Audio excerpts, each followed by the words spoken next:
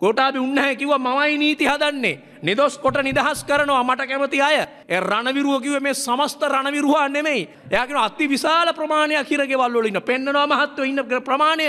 අතලොස්සයි ඉන්න. ඉතාම සුළු පිරිසක්. ඒ සුළු පිරිසමකට දත්තරංගුට අරගෙන තියෙන්නේ? අත්තරංගොට අරන් තියෙන යුද්ධයෙන් පස්ස සිදුවුණු අපරාධ සම්බන්ධයෙන් ලසන්ත වික්‍රම තුංග සම්බන්ධයෙන් එක්නැලිකොට සම්බන්ධයෙන් රතු පස්වල සම්බන්ධයෙන් වැලිකට සිරගෙතර විසිහත් දෙනා ඝාතනය කිරීම සම්බන්ධයෙන් ඔය සියලු දේවල් කළේ රණවිරුව උට්න උමනාහට නෙමෙයි. මේ ගලවගන්න යන්නේ රණවිරු අපකීර්තියට පත් කරලා ගොටාබේ රාජපක්ෂගේ කොන්ත්‍රාත් කරපු එ මිනිමරුවන්න